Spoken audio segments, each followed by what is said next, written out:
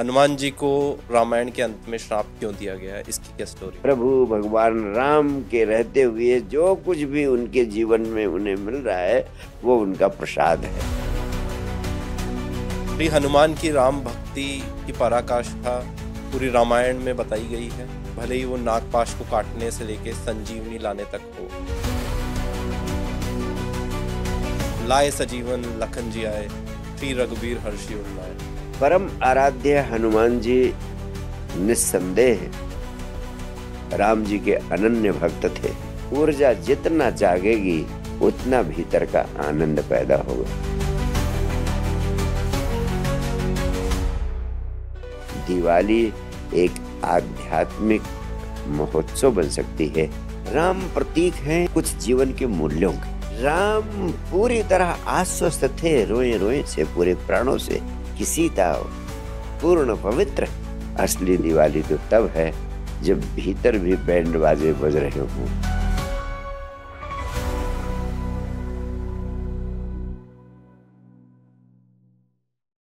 रामायण की जो कथा चालू होती है, वो डिजास्टर से ही चालू होती है। कैकई के कारण राम को वनवास हो जाता है और कैकई की गिनती रामायण के one of the most negative characters में की जाती है। किंतु यह भी सत्य है कि कैकई के बिना यह रामायण की कथा कभी शुरू ही नहीं होती। तो क्या कैकई सही में दोषी थी और नेगेटिव कैरेक्टर्स का हमारी लाइफ में क्या औचित्य है, क्या इम्पोर्टेंस है? वास्तव में धीरज जी कैकेयी का चरित्र रामायण का बहुत अद्भुत चरित्र है, बहुत जटिल भी है। अगर गौर से देखें तो आप पाएँगे कि कैकेयी हमेशा अपने कार्य से, व्यवहार से दशरथ का दिल जीत ली थी। दशरथ जी उसे बहुत प्यार भी करते थे। निस्संदेह उसमें अद्भुत गुण थे। अन्यथा दशरथ का इतना अधिक प्रेम प्राप्त कर पाना संभव नहीं होता। इसके अलावा वो वीर योद्धा भी थी। जैसा कि उसे ऋषि से वरदान प्राप्त हुआ था, उसके एक हाथ में वज्र जैसी शक्ति थी और एक अवसर पर जब राजा दशरथ के साथ युद्ध में गई थी उस समय दशरथ के रथ का पहिया टूट जाने पर उसने अपनी उंगली उस पहिए में लगा दी थी, जिसके कारण दशरथ की जान बची थी और युद्ध में सफलता प्राप्त हो सकी थी। और उस अवसर पर जो इतना महत्वपूर्ण योगदान कैके ने दिया था, उसके कारण ही उन्होंने दो वरदान देने का वचन दिया था। और उसी वरदान के परिणाम स्वरूप राम का वनवास और भरत को राज्याभिषेक किए जाने की मांग की गई थी। अब प्रश्न उठता है कि कैकेयी का ऐसा चरित्र वास्तव में था या किसी विशेष परिस्थिति के कारण हुआ? निस्संदेह रामायण एक अद्भुत महाकाव्य है, जिसके माध्यम से उस समय के समाज को, उस समय की जनता को एक सारगर्भित संदेश देने की चेष्टा की गई और उस सारगर्भित संदेश को देने की चेष्टा के परिणाम स्वरूप रामायण के कुछ पात्र निर्मित करने पड़े। और यह एक ईश्वरीय लीला का महाकाव्य है, जिसमें ईश्वरीय लीला के कृत्य के और इस महाकाव्य के संदेश को जनता के हृदय तक पहुँचाने के लिए कुछ अभीष्ट पात्रों का चयन करना पड़ा, जिसकी भूमिका के रूप में कैकेयी के इस चरित्र को लाना अपरिहार्य हो गया। इसलिए इस पर किसी भी प्रकार से जजमेंटल होना या उसके चरित्र पर निर्णय आरोपित करना तर्क संगत नहीं प्रतीत होता है। फिर भी भूमिका उसकी नकारात्मक थी। भूमिका उसकी सामाजिक मूल्यों और मान्यताओं के विपरीत थी और उसको उजागर करने के रूप में, ऐसे पात्र के रूप में इस भूमिका को उसे निभाना पड़ा। और वास्तव में कैकेयी का सारा दोष, कैकेयी का सारा निर्णय मंथरा के माध्यम से प्रभावित हुआ जो उसकी दासी थी। जैसा महाकाव्य में उल्लेख है, शनि के दुष्प्रभावों के कारण मंथरा ने एक ऐसी चाल चली, एक ऐसी गलत भूमिका निभाई, एक ऐसी सलाहकार की स्थिति में हुई कि माँ के भीतर के ममत्व को, माँ के भीतर की ममता को, माँ के भीतर के पुत्र के प्रति प्रेम को इस तरह उसने प्रक्षेपित किया और इस तरह से कई को समझाया। उसकी नकारात्मक भूमिका के कारण, सिर्फ़ मंथरा की नकारात्मक भूमिका के कारण कई को बेबस होकर के इस तरह के वरदान मांगने को बेबस होना पड़ा।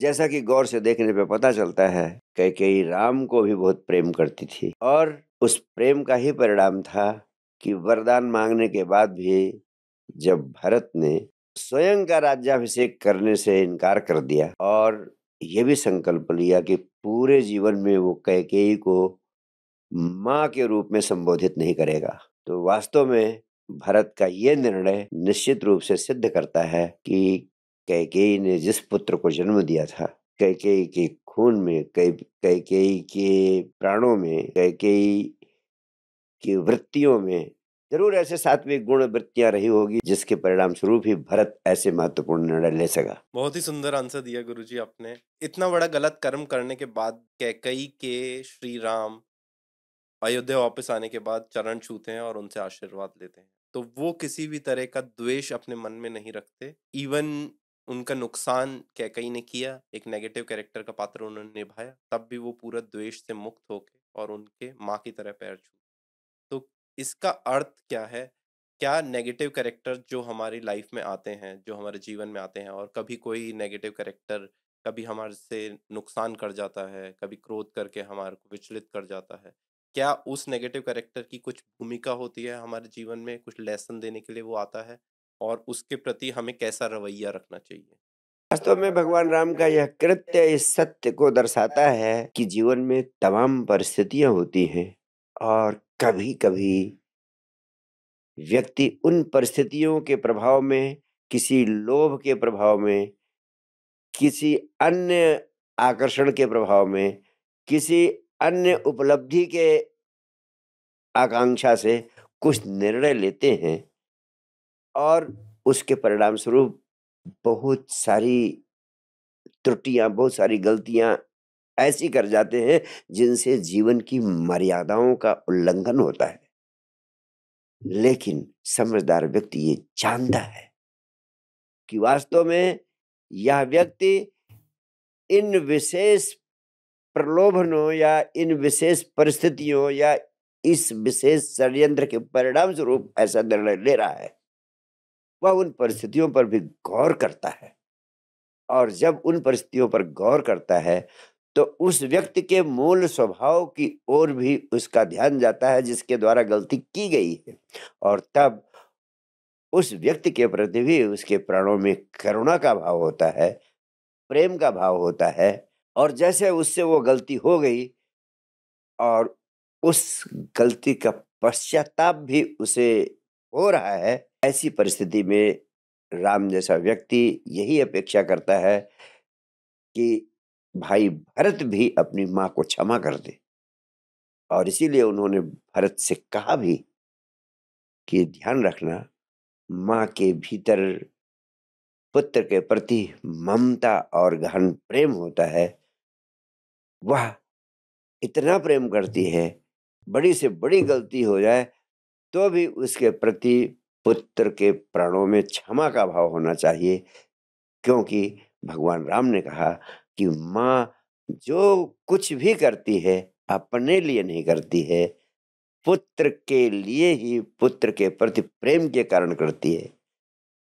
उन्होंने भरत से कहा, तुम्हारे प्रति परम गहन प्रेम के कारण और दूसरों के समझाने के कारण गलत सलाह के परिणाम स्वरूप बसीभूत होकर माँ ने ऐसा निर्णय लिया, इसलिए माँ को तुम्हें क्षमा कर देना चाहिए। और यही भाव, यही संदेश हम सब के प्राणों में भी होना चाहिए कि हमारे इर्द गिर्द, हमारे आसपास जो हमारे प्रियजन रहते हैं, उनसे तमाम तरह की त्रुटियाँ, गलतियाँ, किन्हीं विशेष कारणों से, किन्हीं विशेष परिस्थितियों में, किन्हीं विशेष प्रलोभनों में हो सकती है, हमें उसे लाइफ लॉन्ग दुश्मनी का विषय न बनाकर उसमें क्षमा पूर्ण होने का भाव पैदा करना चाहिए और क्षमा कर देना बहुत बड़ी शक्ति है, जिससे बहुत सारी नकारात्मकताएँ समाप्त होती हैं।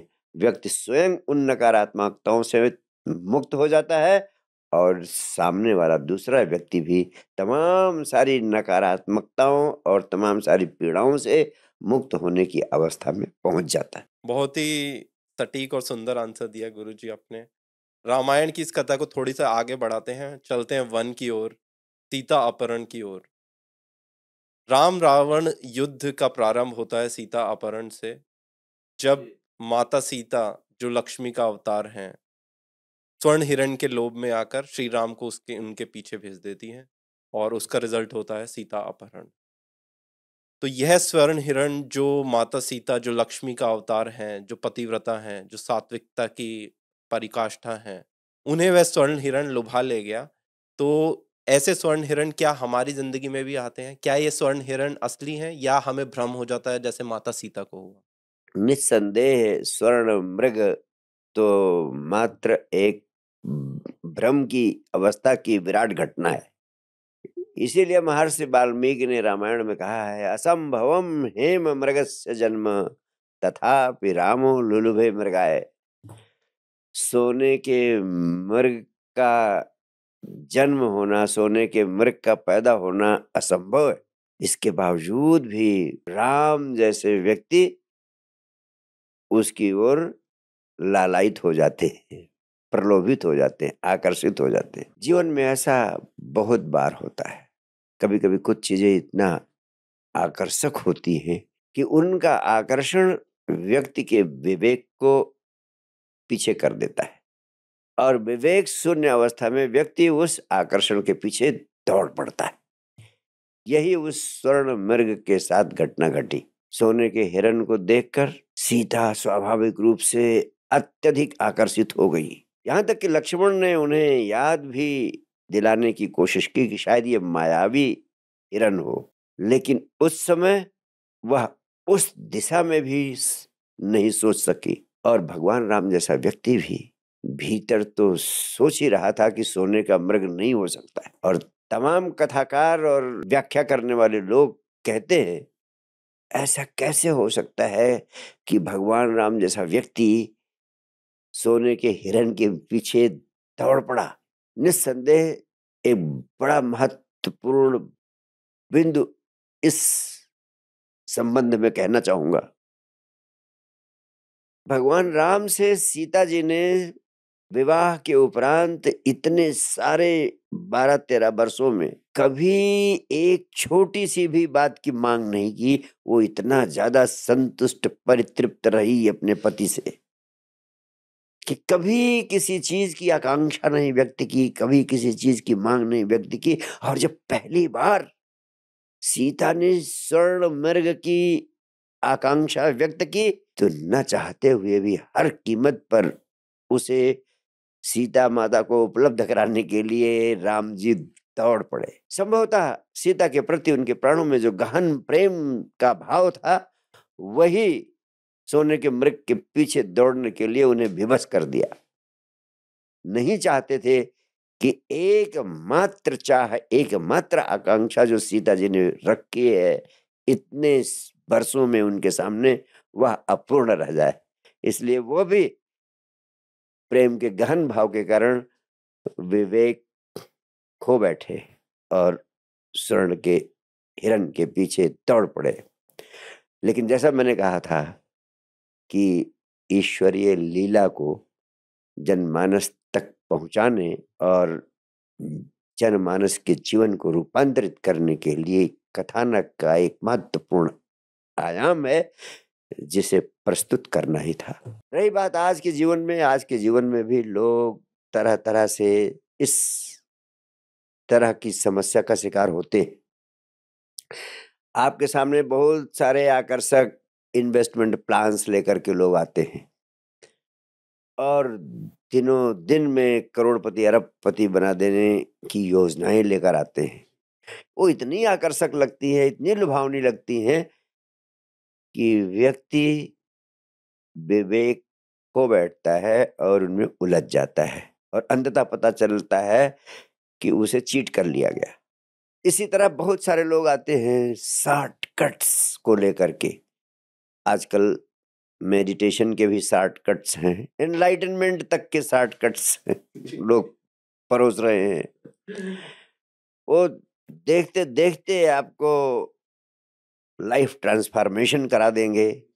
आपकी ज़िंदगी में परम आनंद की रसधार पैदा कर देंगे। और यहाँ तक बातें करते हैं कि आपको राम का, कृष्ण का, जीसस का बोध करा देंगे। उस अवस्था में पहुँचा देंगे। लेकिन जब भी आपको इस तरह के बहुत ही अतिशय आकर्षक प्रलोभन मिले तो वहाँ ज़रूर ठहर जाना, एक बार पुनर्विचार करना।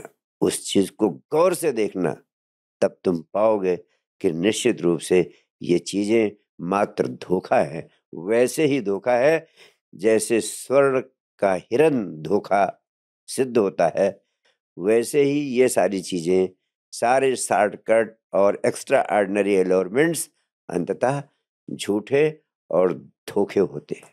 गुरुदेव धोखा मिलने के बाद उसकी बहुत बड़ी कीमत किसी भी व्यक्ति को चुकानी पड़ती है। माता सीता को इसकी कीमत चुकानी पड़ी दो तरह से। एक, श्री राम से वियोग का दुख जो उन्हें सहना पड़ा लंका में अकेले रह के। दूसरा, अंत में रामायण के जब उन्हें अग्नि परीक्षा देनी पड़ी। अग्नि परीक्षा का जो इशू है, वो बहुत ही डिबेटेबल है, उस पर आज तक बहस हो रही है। इवन अलग अलग रामायण के वर्जन में जो वाल्मीकि जी ने पहले लिखी और फिर बाद में और वर्जन आए, उनमें अलग अलग विवरण है।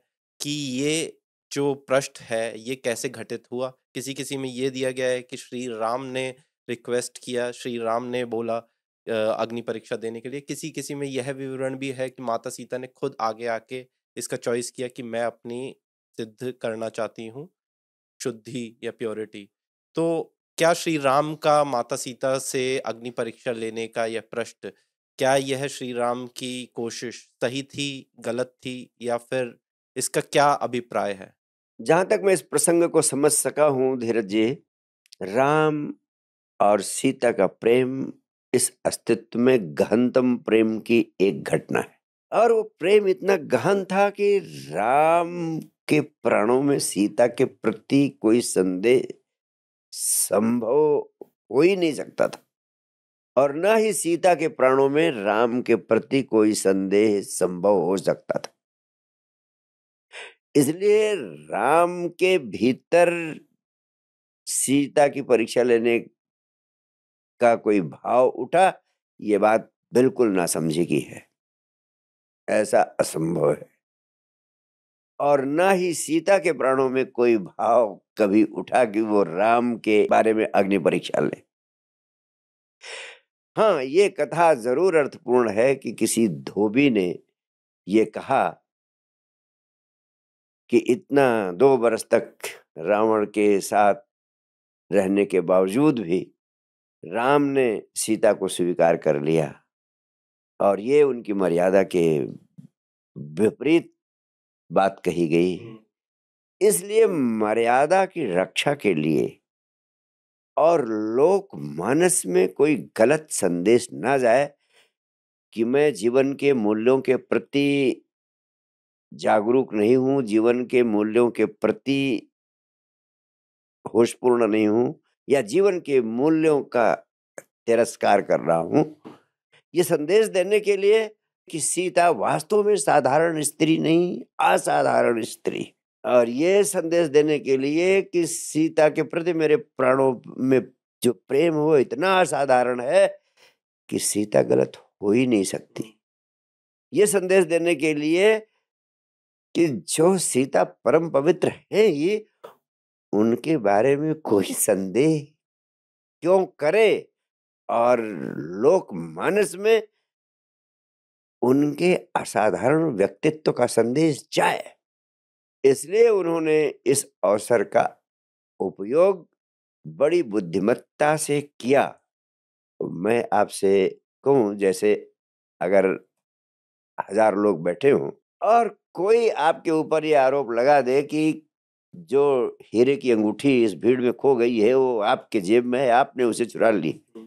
और आपकी पत्नी आपके साथ है और आपकी पत्नी बार बार इस सत्य को जानती है कि आपने चुराया नहीं। लेकिन सारी भीड़ आप पे आरोप लगा रही। ऐसे में आपकी पत्नी क्या चाहेगी? उसके प्राणों में यही ललक होगी कि मेरा पति जेब की तलाशी करा ले और जेब की तलाशी करा के सिद्ध कर दे कि वो चोर नहीं है। या आपकी पत्नी जो जानती है कि आपकी जेब में अंगूठी नहीं है हीरे की अंगूठी नहीं है जिसका इल्ज़ाम आप पे लगाया जा रहा है क्या वो चाहेगी कि आप परीक्षा ना दें आप अपनी जेब ना दिखाएँ? क्या चाहेगी? हर कोशिश करेगी कि किसी तरीके से आप अपनी जेब दिखा दें। और उसकी यह कोशिश कि आप अपनी जेब दिखा रहे हैं इसलिए नहीं है कि आप पे संदेह है उसको। इसलिए है कि आप पे पूरा यकीन है पूरा भरोसा है कि आपकी जेब में चोरी की हुई हीरे की अंगूठी नहीं है। ताकि सारी दुनिया देख सके कि उसका पति पवित्र है। संभवतः राम के प्राणों में यही भाव रहा होगा। और संभवतः सीता के प्राणों में भी यही भाव रहा होगा कि जो सत्य है उसे उजागर क्यों न होने दिया जाए? ताकि जनमानस में अच्छा संदेश जाए और अग्नि परीक्षा से वही सच्चा संदेश जनमानस में गया। यहाँ पर कुछ लोग कहते हैं कि राम ने संदेह के कारण सीता को अग्नि परीक्षा के लिए विवश किया। संदेह के कारण नहीं, संदेह शून्यता के कारण टोटल ट्रस्ट के कारण, गहन प्रेम की गहराई की अगाध सत्यता के कारण, राम के और सीता के दोनों के प्राणों में ये बात हुई कि अग्नि परीक्षा हो जाने देना चाहिए और इसीलिए माता सीता ने अग्नि परीक्षा का भी विरोध नहीं किया। इसलिए यह बहुत ही अर्थपूर्ण घटना है और जिसके भीतर बहुत ही सकारात्मक संदेश है। कुछ लोग कहते हैं कि सीता की तो अग्नि परीक्षा राम ने ले ली। सीता को भी राम की अग्नि परीक्षा लेनी चाहिए थी और लोग इसे नारी शक्ति के अपमान के रूप में देखते हैं। लेकिन गहनता से देखें तो ये नारी शक्ति का अपमान या पुरुष शक्ति की श्रेष्ठता की बात नहीं है। यह केवल गहन प्रेम की विजय का प्रतीक है और गहन प्रेम को स्थापित करने की घटना है। गुरुदेव, इस पृष्ठ को, इस कहानी को देखने का एक लेंस ये भी है कि आधुनिक जगत में यदि कोई विवाद उठता है तो उसके सॉल्यूशन के लिए हमने अदालत का सिस्टम बना रखा है। हम इसके पीछे लेके जाएँ त्रेता युग में तो उस समय एक आरोपी है जो कि धोबी आपने बोला और आरोपित हैं श्री राम और सीता। और यहाँ पे आरोपी आरोपित के बीच में यदि विवाद उठा है तो एक न्यूट्रल पार्टी को फैसला करना पड़ेगा। लेकिन उस समय पे आरोपित भी श्री राम है और जज, क्योंकि एक राजा का धर्म है जजमेंट देना तो जज भी श्री राम ही है। तो वो इतनी डिफ़िकल्ट पोजीशन में है कि वो ही उसको एनालाइज करते हैं सिचुएशन को और इतना प्रेम रहकर भी अपनी पत्नी के लिए इतना प्रेम होकर भी इतना कठिन फैसला उन्हें करना पड़ता है। तो इसे एक पॉजिटिव लेंस से देखना चाहिए ना कि नेगेटिव लेंस से कि उन्होंने ऐसा फैसला कैसे दे दिया। जबकि जो इतने डिफ़िकल्ट पोजीशन में उसके लिए इतना डिफ़िकल्ट फैसला देना बहुत मुश्किल है। वास्तव में इसमें डिफिकल्टी क्या है? और ना ये कोई डिफ़िकल्ट फैसला था? राम पूरी तरह आश्वस्त थे रोए रोए से, पूरे प्राणों से। कि सीता पूर्ण पवित्र है।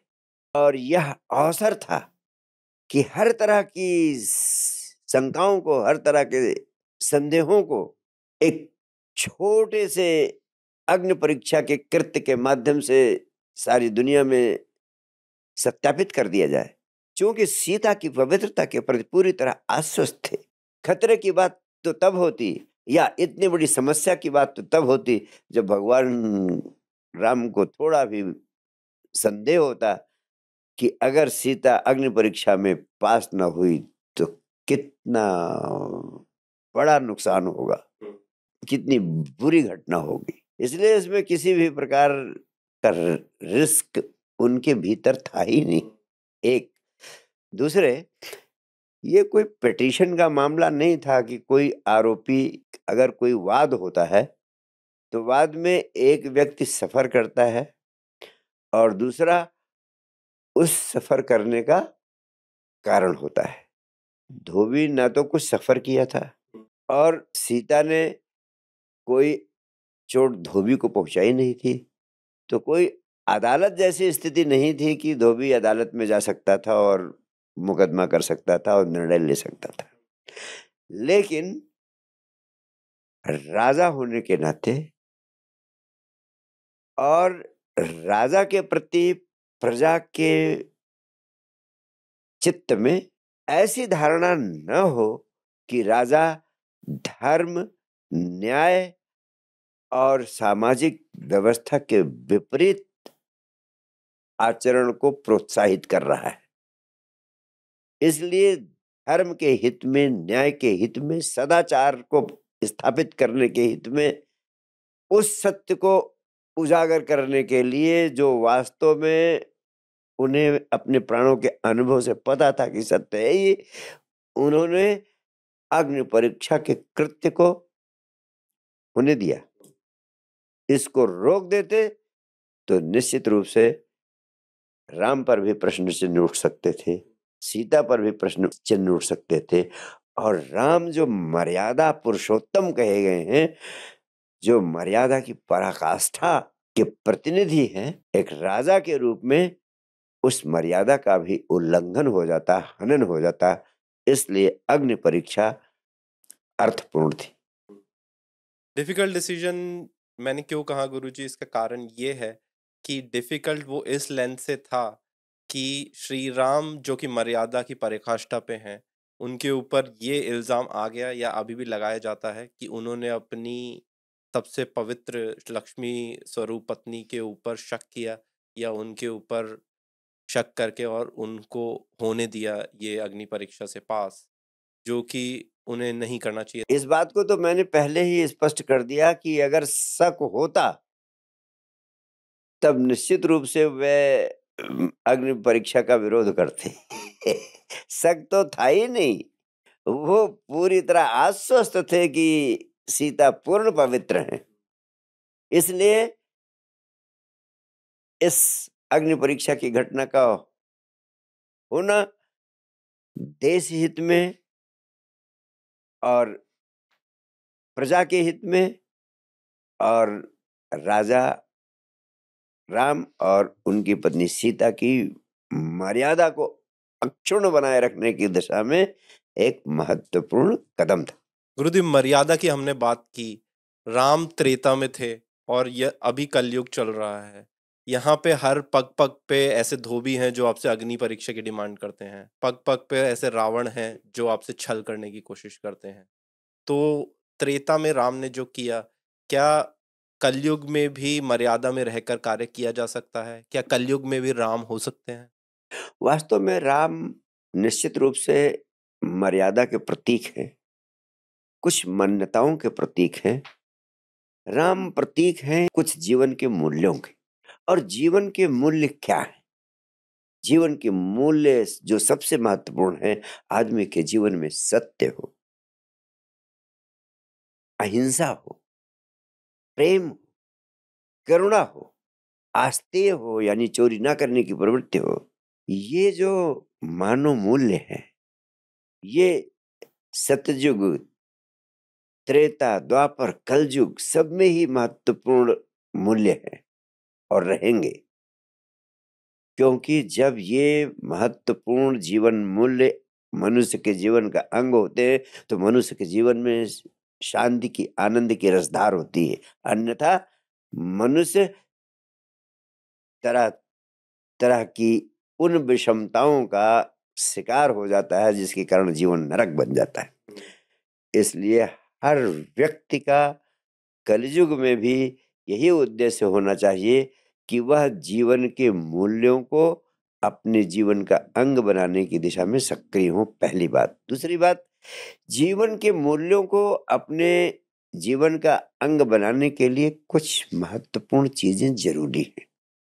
अगर आप अपनी इनर वेलबींग पर, आप अपने आंतरिक स्वास्थ्य पर ध्यान देंगे, आप स्वयं पर फोकस करेंगे, आप स्वयं की चेतना को विकसित करने की दिशा में कोशिश करेंगे, तब ये मानव जीवन के महत्वपूर्ण मूल्य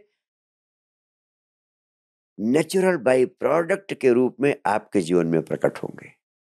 अगर आप ऐसा नहीं करेंगे और आप सिर्फ़ दूसरों को शिक्षित करने की कोशिश करेंगे कि सत्य, अहिंसा, प्रेम, करुणा इस दिशा में आदमी को सक्रिय होना चाहिए, इनका पालन करना चाहिए और इनकी शिक्षा देंगे, इनका उपदेश देंगे, इनका प्रवचन करेंगे शिक्षा देने से, पाठ पढ़ाने से, उपदेश करने से ये मनुष्य के जीवन के अनिवार्य अंग नहीं बन सकते।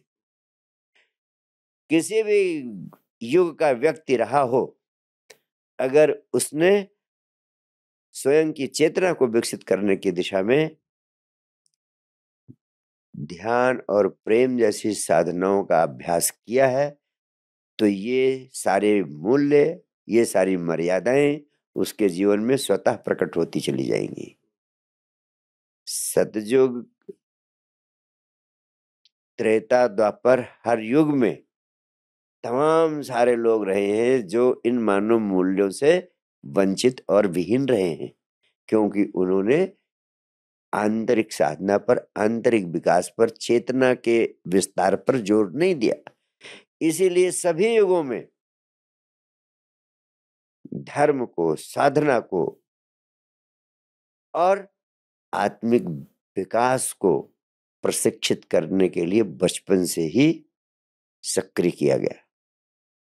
कलयुग में भी बचपन से ही ध्यान और प्रेम की दीक्षा, आधुनिक ज्ञान और विज्ञान की विश्व स्तरीय शिक्षा लोगों को उपलब्ध कराई जाए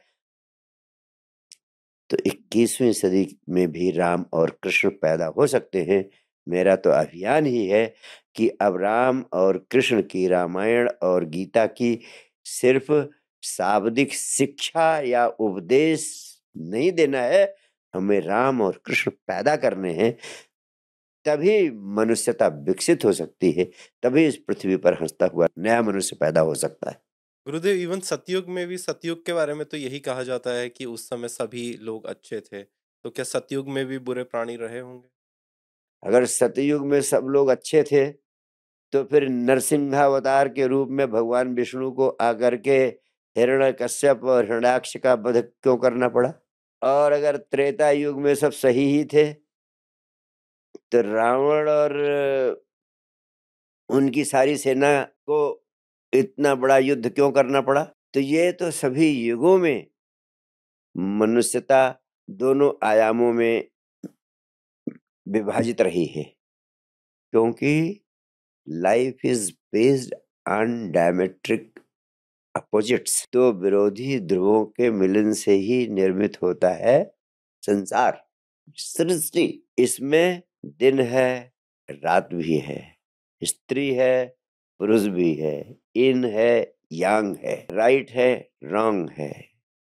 ये दोनों विपरीत शक्तियों के मिलन से ही सृष्टि निर्मित होती है, ये दोनों सदैव रहेंगे। हाँ सतयुग में सात्विक शक्तियों का वर्चस्व डोमिनेंस होगा। कलयुग में नकारात्मक शक्तियों का डोमिनेंस होगा।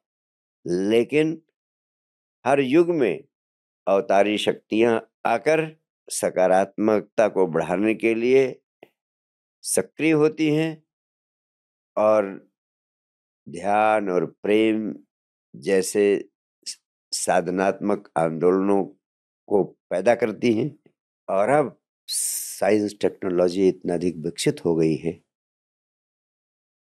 कि अब सतयुग को पुनः पैदा करने का समय आ गया है, वक्त आ गया है।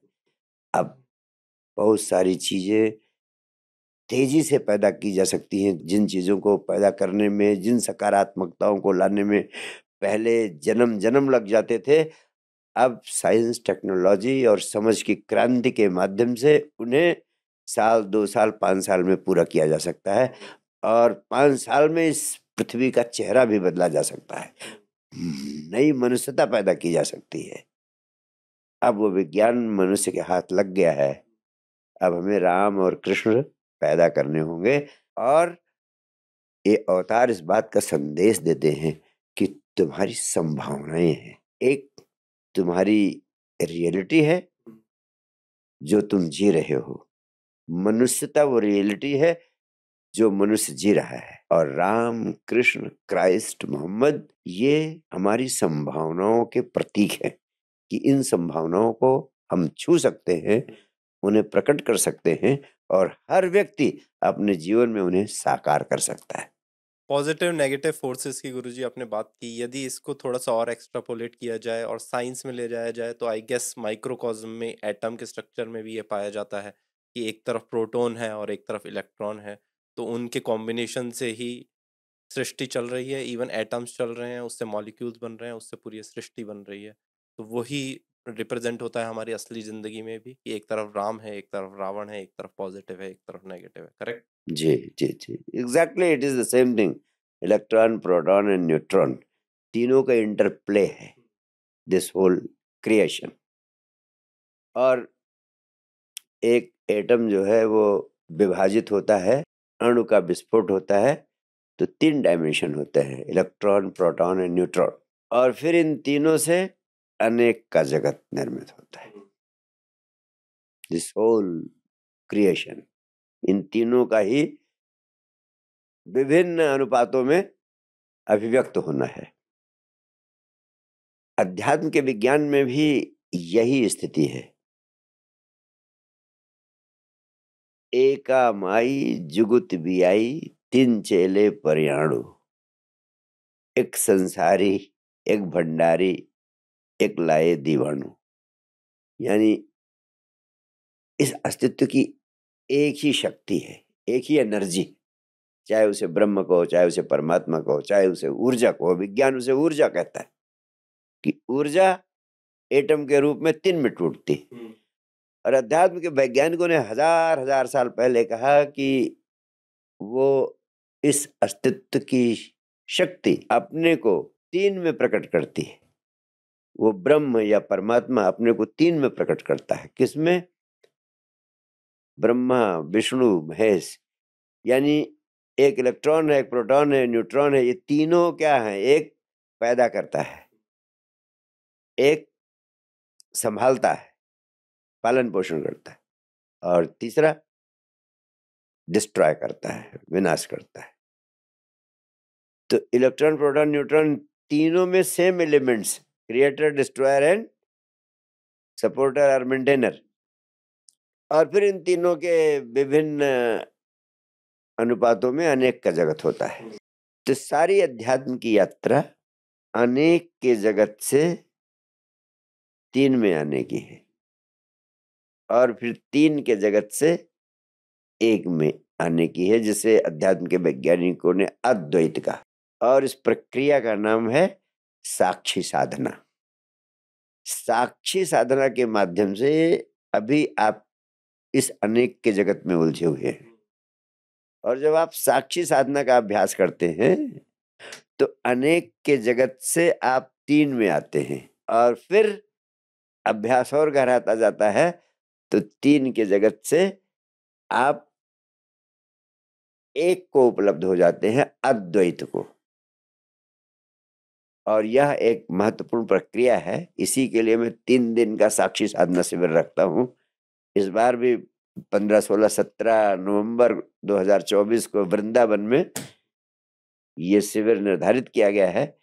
साक्षी साधना शिविर जिसमें अनेक से तीन के जगत में और तीन से एकत्व को उपलब्ध होने का विज्ञान आपको उपलब्ध कराऊँगा। अभी समय कम है। विस्तार में नहीं जाया जा सकता। Thank you. बहुत ही सुंदर गुरु जी होपफुली आप तीन दिन में ये तीन पार्ट जो सबसे इम्पोर्टेंट पार्ट आपने बोले क्रिएटर डिस्ट्रॉयर और मेंटेनर को कवर कर सकें सारे साधकों के लिए जो भी लकी इनफ रहेगा इस वर्कशॉप को अटेंड करने के लिए। Yes no doubt I think इसीलिए आपने शायद साइंस डिवाइन मूवमेंट की रचना की है या साइंस को कैसे डिवाइन से कनेक्ट किया जा सकता है। या या या और ये दोनों only then the 21st century youngsters can understand the science of spirituality otherwise spirituality will slip away from our hands in fact the language of spirituality or religion which had been taught in the past thousand and thousand years uh, back through christianity hinduism or islam is no more relevant today Hmm. the 21st century man wants to understand the language of science and technology. And if those truths of life, which are the essence of spirituality and religion, can be taught through mm, this language of uh, science and technology, then it can be understandable to larger sections of humanity today. And only then spirituality can be a part of life and living of every individual on this earth. That is my aim. That spirituality is not something which must remain confined to religious scriptures or to words or to verbal juggleries.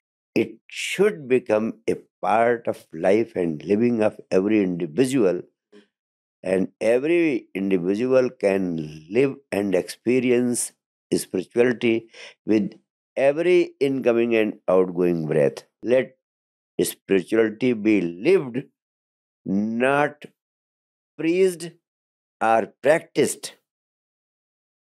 Up till now, it has been only preached and tried to be practiced for one hour or two hours. Whereas my aim is to make spirituality livable 24 into 7, making it a part of life and living as breath is part of our life and living. And that is why this science divine movement is there. I really hope, Guruji, this science divine movement you have started grows manifold and everyone comes to know of it. ये मेरे दिल से कामना है शक्ति की गुरुजी हमने बात की महाशक्तिवान महाबली हनुमान परम राम भक्त थे श्री हनुमान की राम भक्ति की पराकाष्ठा पूरी रामायण में बताई गई है भले ही वो नागपाश को काटने से लेके संजीवनी लाने तक हो। लाए सजीवन, लखन जी आए, श्री रघुबीर हर्षि उड़ लाए। इतनी राम भक्ति होने के बाद भी उन्हें रामायण के अंत में एक श्राप मिल जाता है। हनुमान जी को रामायण के अंत में श्राप क्यों दिया गया है? इसकी क्या स्टोरी है? परम आराध्य हनुमान जी निस्संदेह राम जी के अनन्य भक्त थे।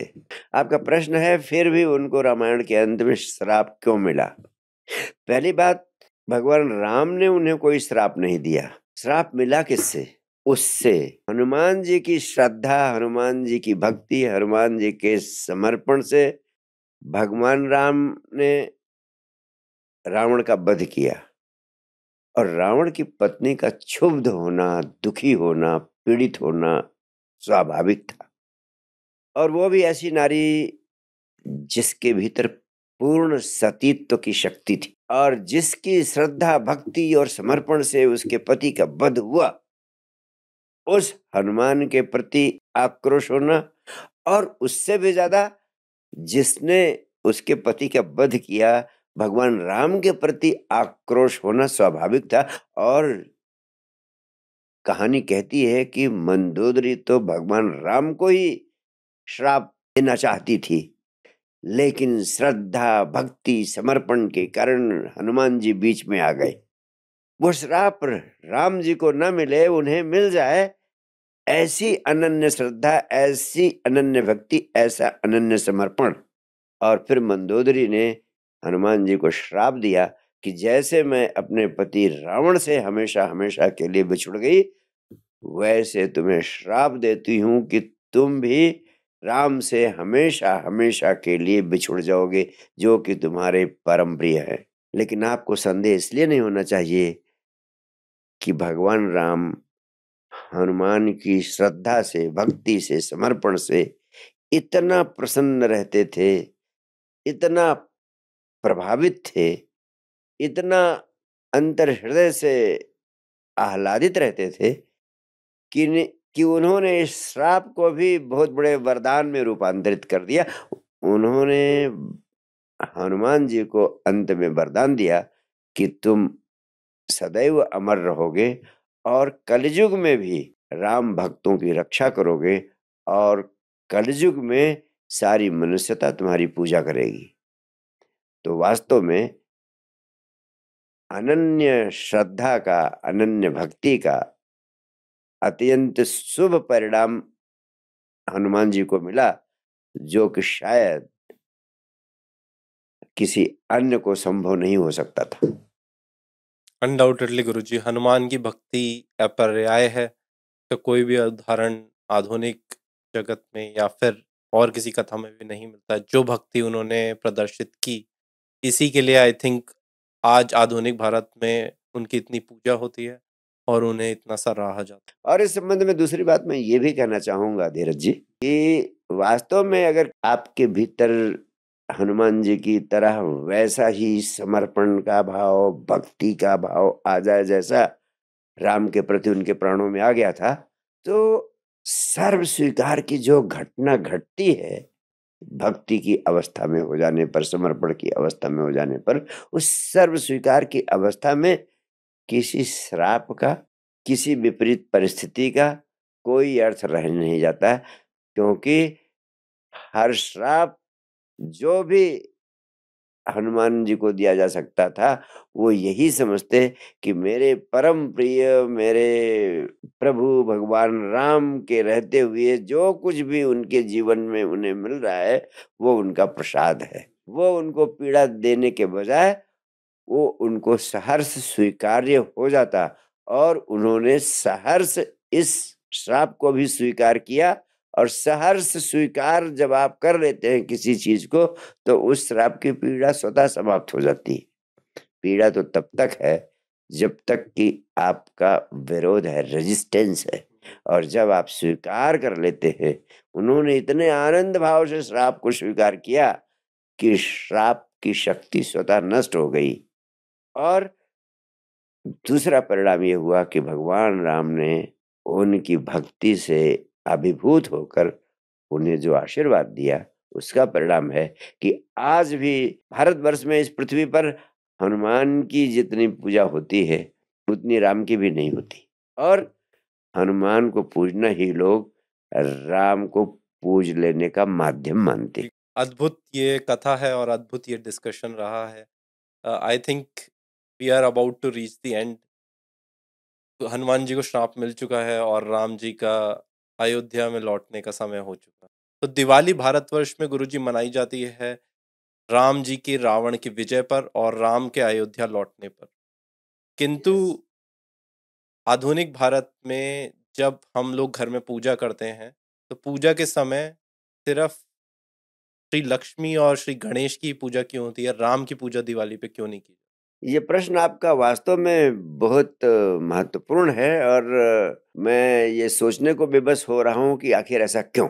लेकिन अगर आप गौर से देखें तो भारतवर्ष में दीपावली महोत्सव मनाने की उत्पत्ति बहुत पुरानी है, अत्यंत प्राचीन। दिवाली का उद्भव तो सतयुग में ही समुद्र मंथन के पश्चात शुरू हो गया था, जब समुद्र मंथन में कार्तिक मास की अमावस्या अवसर पर माँ लक्ष्मी समुद्र मंथन के रत्न के रूप में प्रकट हुई थी। उस समय से ही लक्ष्मी की पूजा शुरू हो गई और उनकी पूजा के अनिवार्य अंग के रूप में बड़े पैमाने पर दिए जलाकर उनकी पूजा करना, उनका स्वागत करने की प्रक्रिया शुरू हो गई। और ऐसी मान्यता है कि माँ लक्ष्मी निसंतान थी। उनके पास कोई संतान नहीं थी तो उन्होंने माँ पार्वती से विचार विमर्श करके, आग्रह करके उनके पुत्र गणेश को ही गोद ले लिया। और जब गणेश जी को गोद ले लिया तो उन्होंने अपनी सारी धन, संपदा, वैभव गणेश को अर्पित कर दिया। और यही कारण है कि शरद पूर्णिमा से लेकर के अमावस्या की रात तक का समय, ऐसी मान्यता है कि माँ लक्ष्मी का सभी घरों में आगमन होता है। और फिर लक्ष्मी के साथ साथ चूँकि गणेश को भी उन्होंने गोद ले लिया और उन पर अपनी सारी संपदा नौछावर कर दी, अर्पित कर दी तो लक्ष्मी जी के साथ साथ गणेश जी की भी पूजा होती है। लक्ष्मी जी धन की, वैभव की, संपदा की देने वाली देवी है और गणेश जी की पूजा इसलिए अत्यंत महत्वपूर्ण हो जाती है कि गणेश जी बुद्धि और विवेक के देवता है।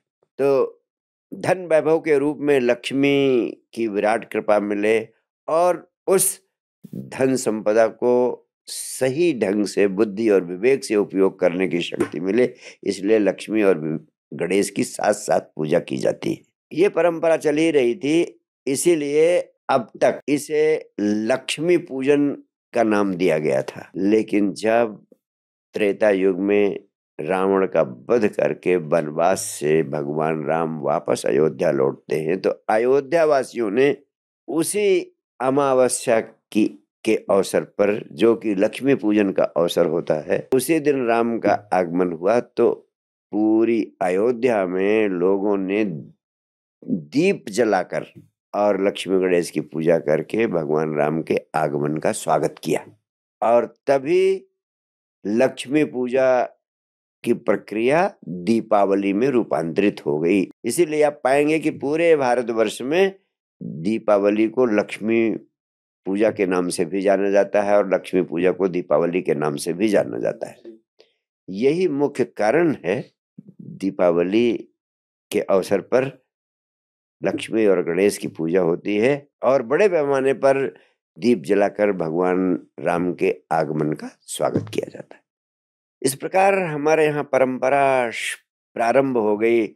लक्ष्मी गणेश की पूजा के रूप में दीपावली मनाई जाती है। रावण पर राम की विजय के रूप में दीपावली जलाकर विजय महोत्सव के रूप में दीपावली मनाई जाती है। इस प्रकार ये शुभता की अशुभता पर विजय सत्य की असत्य पर विजय और अज्ञान पर ज्ञान की विजय का प्रतीक बन गई। आप हैरान होंगे जानकर कि हिंदुओं के अलावा जैन भी इस दीपावली को बड़े धूमधाम से मनाते हैं। इसके पीछे एक बहुत महत्वपूर्ण कारण भगवान महावीर, वर्धमान महावीर पहले व्यक्ति हैं इस पृथ्वी पर। जिन्हें अमावस्या की रात कैवल्य की अवस्था, जिसे हम बुद्धत्व कहते हैं एनलाइटनमेंट कहते हैं, उपलब्ध हुआ। इस पृथ्वी पर आध्यात्मिक दृष्टि से भी, वैज्ञानिक दृष्टि से भी अमावस्या की रात वह समय है, वह क्षण है, जब मनुष्य की चेतना निम्नतम तल पर होती है। Darkest night of the universe होती है। मनुष्य की चेतना अत्यंत क्षीण अवस्था में होती है। और बुद्धत्व की घटना, कैवल्य की घटना एनलाइटनमेंट की घटना, चेतना के उच्चतम शिखर पर पहुँचने की घटना है। क्योंकि वर्धमान महावीर को अमावस्या की रात चेतना का उच्चतम शिखर कैवल्य या बुद्धत्व की अवस्था उपलब्ध हुई। इसलिए सारे जैन संप्रदाय में अमावस्या की रात को दीपावली की रात के महोत्सव के रूप में मनाया जाता है। अज्ञान पर ज्ञान की विजय के महोत्सव के रूप में मनाया जाता है। पहले व्यक्ति हैं वर्धमान महावीर। शेष सारे लोगों को अधिकांशतः बुद्धत्व पूर्णिमा की रात को उपलब्ध हुआ है। पूर्णिमा के दिन मनुष्य की चेतना शिखर पर होती है और ऐसे में बुद्धत्व को उपलब्ध करना सहज होता है। भगवान बुद्ध तो पूर्णिमा को ही पैदा हुए, पूर्णिमा को ही बुद्धत्व प्राप्त हुआ और पूर्णिमा को ही उन्होंने अंतिम साँसें भी ली। लेकिन अमावस्या की रात इस घटना का होना अत्यंत महत्वपूर्ण है। आप हैरान होंगे जानकर इसीलिए भगवान वर्धमान को भगवान महावीर की संज्ञा भी दी गई। महावीर का अर्थ है इतने शक्तिशाली कि जब अस्तित्व में चेतना अपने निम्नतम तल पर होती है उस समय भी वो चेतना के उच्चतम तल को उपलब्ध हो सके। यानी अपने मूल स्रोत को उपलब्ध हो गए। ये तो ऐसे ही हुआ जैसे गंगा की धारा में विपरीत तैरते हुए, उल्टी धारा में तैरते हुए गंगा के मूल स्रोत तक पहुँच जाया जाए। ऐसे ही इस विपरीत परिस्थिति में भी अपने मूल स्वरूप को, परम आनंद की कैवल्य अवस्था को उपलब्ध किया। इसलिए जैनों में दीपावली बड़े धूमधाम से मनाई जाती है। इसी प्रकार सिखों में भी इस दिवस को दीपावली को धूमधाम से मनाया जाता है, क्योंकि इसी दिन गुरु हरगोविंद को जहांगीर के काल में जेल से छोड़ा गया था। वह इसे बंदी छोड़ दिवस के रूप में मनाते हैं, इसलिए अपने गुरु के कारावास से मुक्त होने के दिन को वो धूमधाम से दिए जलाकर स्वागत करते हैं और इस रोशनी के महोत्सव को मनाते हैं। इसी प्रकार दक्षिण में नरकासुर वध भगवान कृष्ण के द्वारा संपन्न हुआ, उसके खुशी में पुनः असत्य की सत्य पर विजय, शुभ की अशुभ पर विजय के रूप में दक्षिण के लोग भी दीपावली को मनाते हैं। बहुत ही सुंदर, गुरुदेव। एक छोटा सा प्रश्न इस पे मेरा ये है कि आपने महावीर की इतनी सुंदर कथा सुनाई। वे, मुझे आज तक पता भी नहीं था कि उन्हें महावीर क्यों कहा जाता है तो आज मेरा वो डाउट क्लियर हो गया। लेकिन क्या इसका ये भी अर्थ निकलता है कि दिवाली का वह दिन, जिस दिन हम लोग दीप जला के खुशियाँ मना रहे हैं। क्या वो दिन का भी कुछ सिग्निफिकेंस है मेडिटेशन से रिलेटेड और साधना से रिलेटेड क्या उसे एक्सप्लोर करना चाहिए?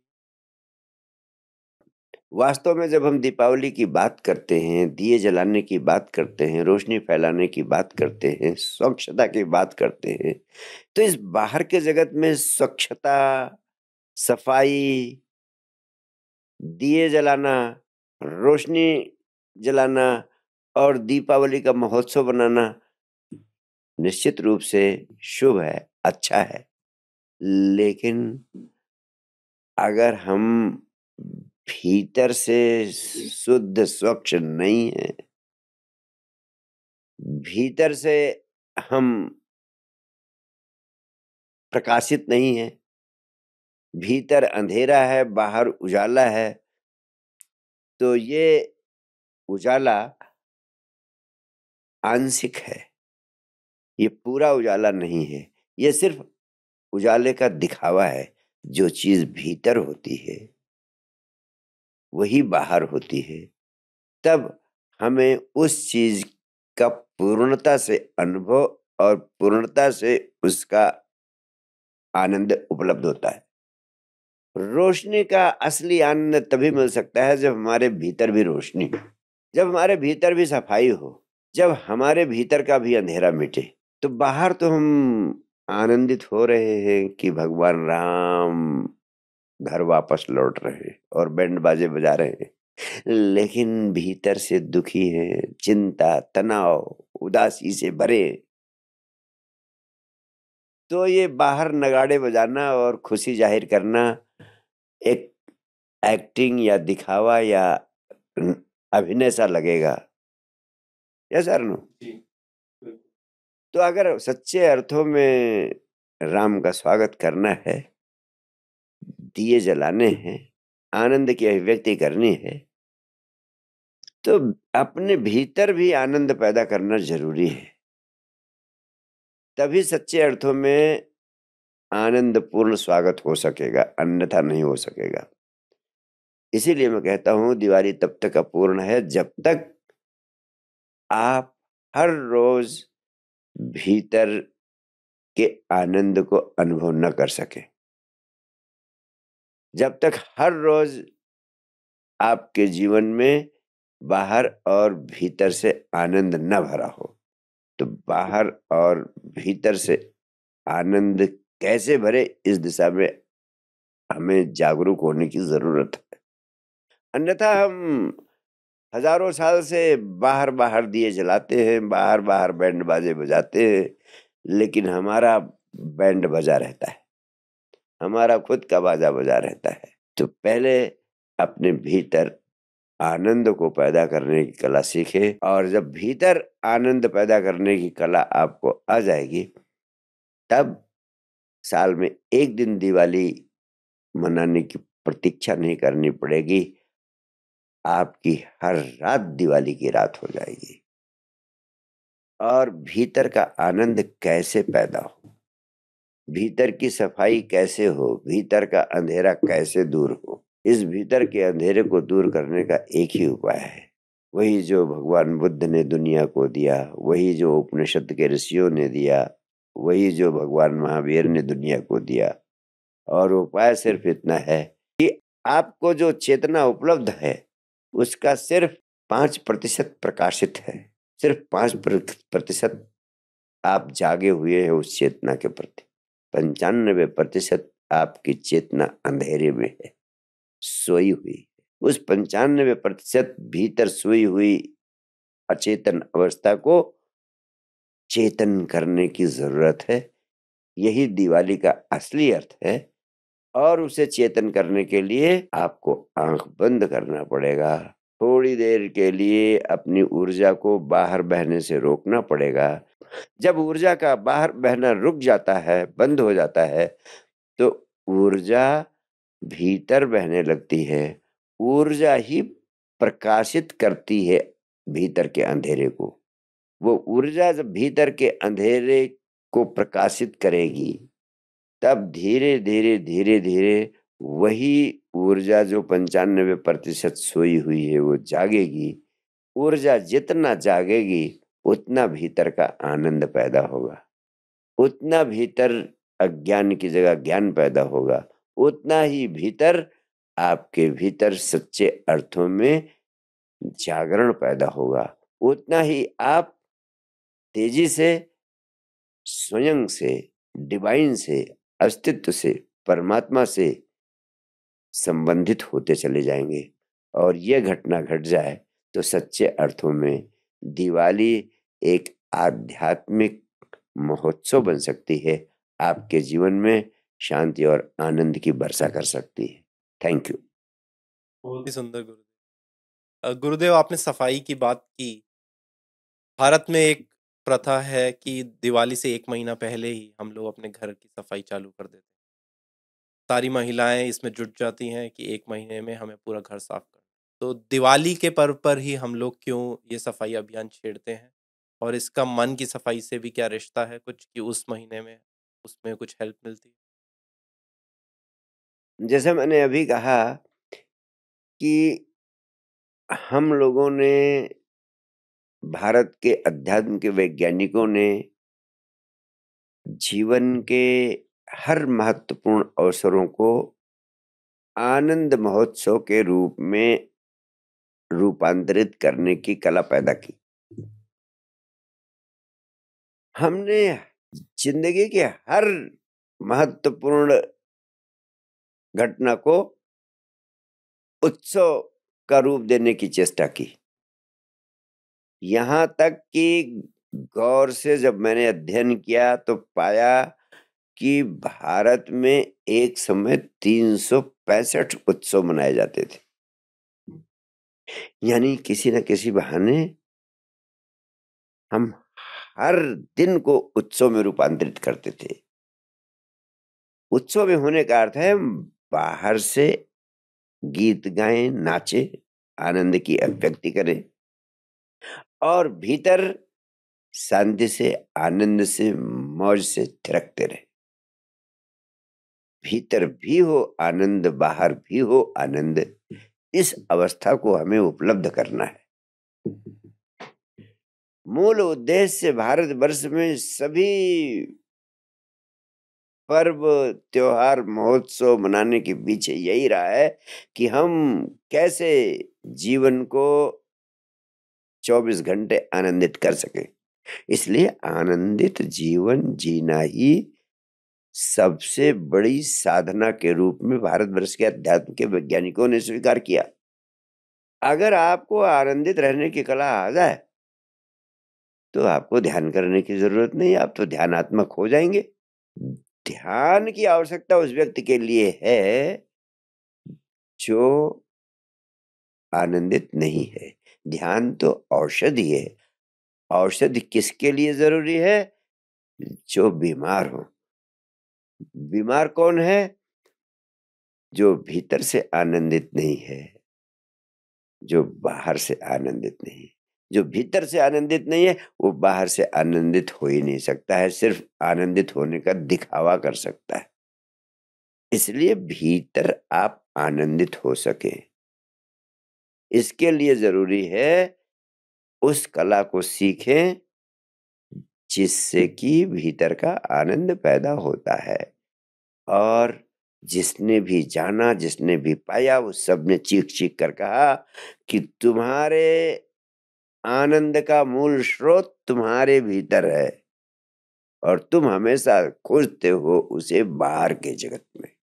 तुम खोजते हो कि धन मिल जाएगा तो आनंदित हो जाएँगे, बड़ा पद मिल जाएगा तो आनंदित हो जाएँगे, बड़ी प्रतिष्ठा मिल जाएगी तो आनंदित हो जाएँगे, बड़ा मकान मिल जाएगा तो आनंदित हो जाएँगे, बड़ी दुकान मिल जाएगी तो आनंदित हो जाएँगे, लेकिन ये सब मिल जाती हैं, उसके बावजूद भी लोग मरे मराए जीते हैं।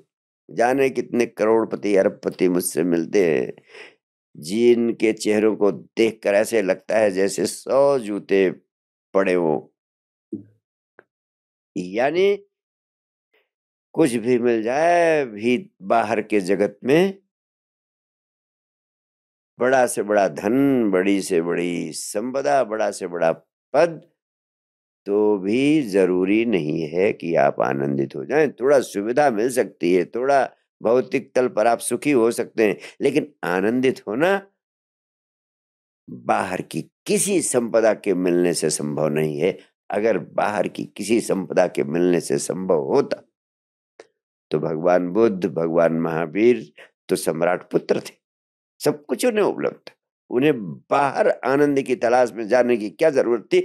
लेकिन बाहर जब आनंद की तलाश में गए तो इसी सत्य का बोध उन्हें हुआ कि आनंद तो भीतर ही था, हम कभी भीतर नहीं जा सके। इसलिए जो आप दीपावली के महोत्सव पर या होली के महोत्सव पर जो एक महीने तैयारी करते हैं, सफ़ाई करते हैं, दिए जलाने की चेष्टा करते हैं बार बार सिर्फ़ इसलिए करते हैं कि आपको इतना ही अर्थ है, दिवाली मनाने का अर्थ कि बाहर साफ़ सुथरा हो जाए और बाहर बैंड बाजे बजे, दिए जलें, गीत संगीत हो लेकिन यह तो केवल एक परसेंट है। असली दिवाली तो तब है, जब भीतर भी बैंड बाजे बज रहे हों। भीतर से आनंद प्रस्फुटित हो रहा हो। जब भीतर भी संगीत बज रहा हो, और वो तभी संभव है जब आप भीतर से अपना संबंध जोड़ सके। आप 24 घंटे बाहर बाहर ही दौड़ते रहते हैं। सारी चेतना विभिन्न इंद्रियों के माध्यम से 24 घंटे बाहर बाहर बहती रहती है। तो भीतर से आपका संबंध स्थापित नहीं हो पाता है। तो दिवाली के अवसर पर ही नहीं, होली के अवसर पर ही नहीं, या अन्य महोत्सवों पर ही नहीं, हर रोज अगर आप स्वयं के भीतर से संबंधित होने की चेष्टा करेंगे तो भीतर की सफ़ाई होगी, भीतर का अंधेरा दूर होगा और भीतर का संगीत पैदा होना शुरू होगा। तभी आनंद की रसधार भीतर से निकलेगी, जो बाहर के पूरे जीवन को लपेट लेगी और आपका हर दिन होली और हर रात दीपावली में रूपांतरित हो जाएगी। Thank you so much Guru जी अद्भुत ये डिस्कशन रहा है और अद्भुत डिस्कशन में रामायण के अलग अलग पात्रों का जो आपने विश्लेषण बताया है, रामलीला के जो नए अर्थ निकल के आए हैं, उसी से मुझे तो आनंद की प्राप्ति हो गई है। किंतु मैं ये चेष्टा ज़रूर करूँगा कि जो आपने पथ दिखाया, जो आपने राह दिखाई, उसके ऊपर चलने का प्रयत्न करें और सभी साथी भी उसके ऊपर चलने का प्रयत्न करें। Happy Diwali to you Guru ji thank you thank you so much Guru ji and thank you to all the viewers हमारे सभी साक्षी मित्र जो आज हमारे साथ साक्षी श्री विजडम पॉडकास्ट की इस अद्भुत जर्नी पर दिवाली पॉडकास्ट में हमारे साथ जुड़े हैं। जिन्होंने भी ये एपिसोड एंड तक देखा है मेरा ये पर्सनली मानना है कि उनकी आधी यात्रा तो पूरी हो ही चुकी होगी। बाकी की यात्रा जो आपकी बची है स्पिरिचुअलिटी में जो आपने शुरुआत की उसको आगे बढ़ाने के लिए मैं ये रिकमेंड करूँगा कि आप कोई ना कोई मेडिटेशन वर्कशॉप या मेडिटेशन इवेंट गुरु जी का ज़रूर अटेंड करें। तो उसके अंदर आपकी जो अप्रतिम प्रगति होगी, उसका विश्वास आपको खुद को नहीं होगा, क्योंकि एक संबुद्ध सदगुरु के सानिध्य में की हुई साधना अवश्य पूरी होती है। यह हमारे पुराणों में हर जगह पर लिखा हुआ है और गुरु की इम्पोर्टेंस हर जगह की गई है। तो एक सदगुरु को ढूँढने की जो चेष्टा आप लोग कर रहे हैं, उसमें यह एपिसोड आपका काम आया होगा, इसी की आशा करता हूँ और आप सबको कुछ ना कुछ इस एपिसोड से सीखने को ज़रूर मिला होगा। तो जिन भी मित्रों को इस एपिसोड में से कुछ सीखने को मिला हो, वो प्लीज़ लाइक, कमेंट और सब्सक्राइब ज़रूर करें ताकि इस तरह के कंटेंट आपकी फ़ीड में खुद से आते रहें। Thank you so much and thank you so much Guru ji and in the end Gurudev science divine foundation चलाते हैं जो कि अन्य सोशल कॉजेज़ पे झुग्गी झोपड़ी बच्चों की शिक्षा से लेके खाद्य वितरण तक काम करती है। उसके लिए डोनेट करने के लिए आप स्क्रीन पे दिए गए क्यूआर कोड को स्कैन कर सकते हैं या फिर डिस्क्रिप्शन में दिए हुए लिंक को क्लिक कर सकते हैं। Thank you so much and thank you Guru ji thank you Dheeraj. Loved being with you thank you so much